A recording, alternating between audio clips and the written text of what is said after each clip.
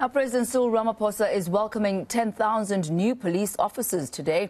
In his State of the Nation address earlier this year, the president vowed to intensify crime fighting efforts.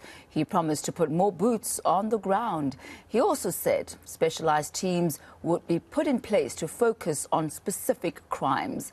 There are also crime wardens and peace officers on our streets. Let's find out how effective this is from criminologist Guy Lamb. Guy, a very good morning to you. Welcome to the South African morning. Well, we've got different tiers here uh, of, of officers. We've got uh, the wardens, we've got police officers. Tell us the differences between their functions. Okay, well, what we've seen at the moment, we've got South African police services. They make up the majority of police within South Africa. They are national police force and they are directed from a national office in Pretoria. And of course, there are uh, provincial commissioners that make decisions around how resources are used in each particular province.